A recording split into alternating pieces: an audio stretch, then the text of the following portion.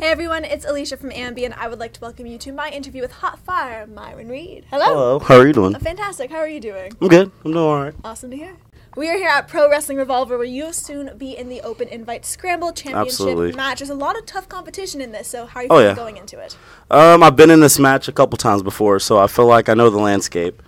I think I'm ready for this. I think I'm gonna walk out of there with the Scramble Championship. Okay. Absolutely. And not too long ago, you were sharing that you're actually living in Ohio. So are you still uh, still here Yes, I'm, I moved here in May, so yeah, I've been living here ever since. and still living with Dave, your trainer? Yep. And what what's that like? Since I'm the camaraderie in the house, there are a lot of there are a lot of uh, his kids, as he calls them, in there. So Yeah. Um, it's awesome. It's uh, a lot of younger uh, talent like myself get to get an opportunity to train, work out, and do all that stuff, you know, for a cheap living, you know, because with wrestling, you know, it's it's very uh, high demand, like money wise. So rent's cheaper, everything's cheaper there. Instead of you know opposed to paying six hundred plus dollars a month for rent, so it's it's a big help for all of us, and it's awesome learning every day. Of course, I introduced you by your nickname, Hot Fire. I love how you're Yes. repping it as well. Very cool T-shirt right there. Thank you. You're very welcome. When was the first time that you were coined or called Hot Fire? How did that kind of come about?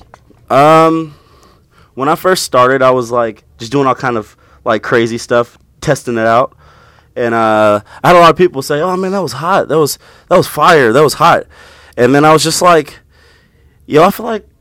Hot Fire is like a really cool nickname. I've never heard of anyone be called Hot Fire. So then, like, it just like stuck with me, Okay. and ever since then. Did you have any other nicknames prior to that that you were called growing up, or is that the main one that stuck? Um, the nickname I have in the house now, they call me Lil Dookie. I think I think it's I funny. heard I heard that outside. Where, where did that come from? Well, I don't know. Uh, well, actually, I think it was when they were joking. It was me and Clayton Jackson, and I was I called him uh, Lil Dookie, and Zach was like, "Nah, you're Lil Dookie," and I was like, "No, I'm not. No, I'm not Lil Dookie." And then like from there, because I was like I denied it, everyone's been calling me Lil Dookie since then, and it's just it's a thing now, I guess. You happy that one stuck or not? Not so. Uh, it, it's growing on me now, but like at first I was like, ah, I hate this. I hate this name. They're saying it out of love. That's all you need to know, Yeah. right? Yeah, absolutely.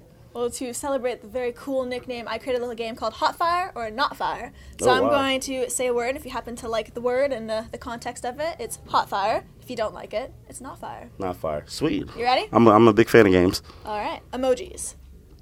Hot fire. Water slides. Hot fire. Iced tea. Hot fire. When people wear black lipstick. Not fire. Snowboarding. Not fire. I'm not a fan of the cold. The zoo. Fire. Colored pants. Fire. Fire. Okay. How about camping? Not fire. And the last one, lip piercings. Mm, not fire for me. You really Not were like, oh, little, Uh. little shake there too. yeah, I'm not. I'm not a fan of lip piercings. It seems like it hurts. okay. I noticed that you have your ears pierced though. Is that the only Yep, thing? that's or- that's the only thing for me. Okay, how's the pain tolerance on that? You're able to. Oh, it was super easy. I got it when I was like in fifth grade, Okay. so I barely remember it, but like it wasn't too bad if I don't remember it that well. right? It wasn't too traumatizing, Yeah. clearly.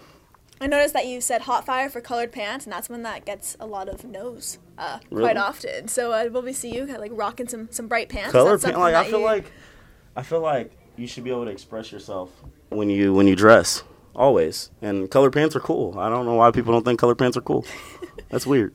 you mentioned expressive dressing there. So when you look back at certain fads that you had growing up, is there anything that comes to mind that you were a little bit embarrassed of, or you've been pretty uh, pretty good as far as the fads go?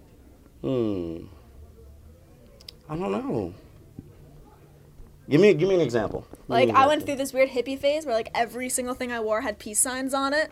Really? No idea why. Let me So that was something that I went through.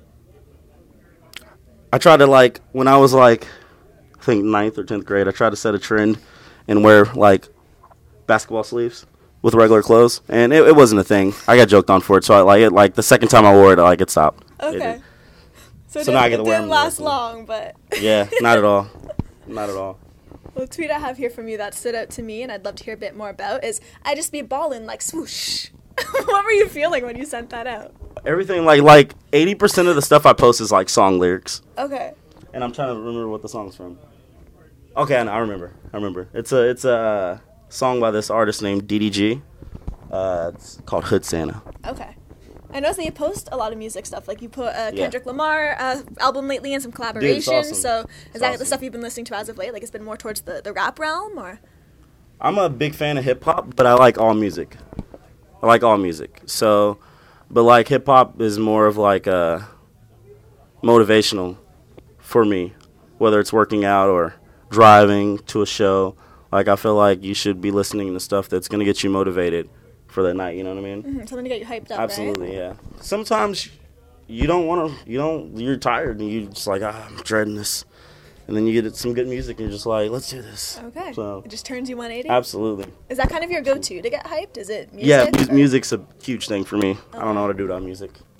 Well, speaking to music, if you could have any artist create some entrance music for you, who would you love to see do that?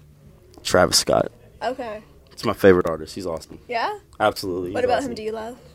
I just like his style. Like he's different. Like as opposed to like most rappers would like, for example, try and like uh, get other artists, bigger artists, on their albums to help their popularity. Yeah. But he like gets the artist that fits with the song that he's playing. So I like his style. I just think he's he's awesome. And do you have a favorite theme in music or in wrestling, like a an entrance theme? Mine. You're not allowed to pick your own. Okay. Shoot. Um. Strickland's. Okay. Yeah. He it's got to be that one. He wanted to pick his own too. I'm like, Yeah. you're not allowed. That's It too sucks. easy. You gotta love your own music. Of course. As you Has said, it's the one thing that gets you hyped up, right? Absolutely. And Yeah. if you were to be in a band, what do you think you'd play? As far as would you be like the frontman, guitarist, or have you dabbled into playing anything before? Uh, piano when I was younger, but Okay. that that's about it. Like musically wise, I'm not very musically talented. Rather, That's why I'm wrestling. You know. rather, ra- rather listen to it than play it. I guess. Yeah, absolutely. Okay. Uh, probably be the guitarist because I don't know. I'm not, I can't sing. I can't sing, and I I just don't think I could find the time to uh, write lyrics. So I'd just be like, hey, I'm just back here playing the guitar. So you tell was- me what to do. That was some convincing air guitar right there too. I suck at it, so I'm, I'm, I'm I don't know what I'm doing. Let's wrap things up. I do want to leave it with the fans. Is there anything you want to say to everybody viewing? Um, honestly, I just want to say thank you for the support. I'm looking to go bigger this year than I did last year, and uh, I appreciate you guys supporting me and all the opportunities. I'm very blessed and thankful for everything. And um, follow me on Twitter at the Bad Reed or um, Facebook Myron Reed, Instagram uh, Reed's World, Reed's period World.